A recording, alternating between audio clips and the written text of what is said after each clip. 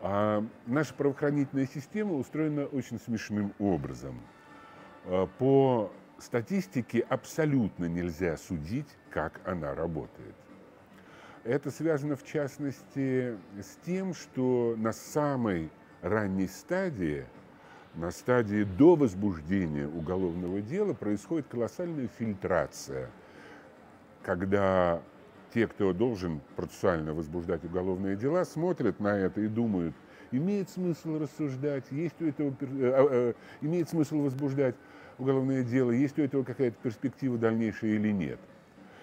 И когда речь идет о людях беззащитных, людях э, неукорененных в стране, а это прежде всего мигранты, то против них легче всего возбуждать уголовные дела. Им трудно защищаться, их легко шантажировать, поэтому против них дела возбуждать одно удовольствие. Это дело обязательно дойдет до конца и обязательно закончится приговором, и значит на всех стадиях все получат соответствующие галочки, связанные с успешностью их работы.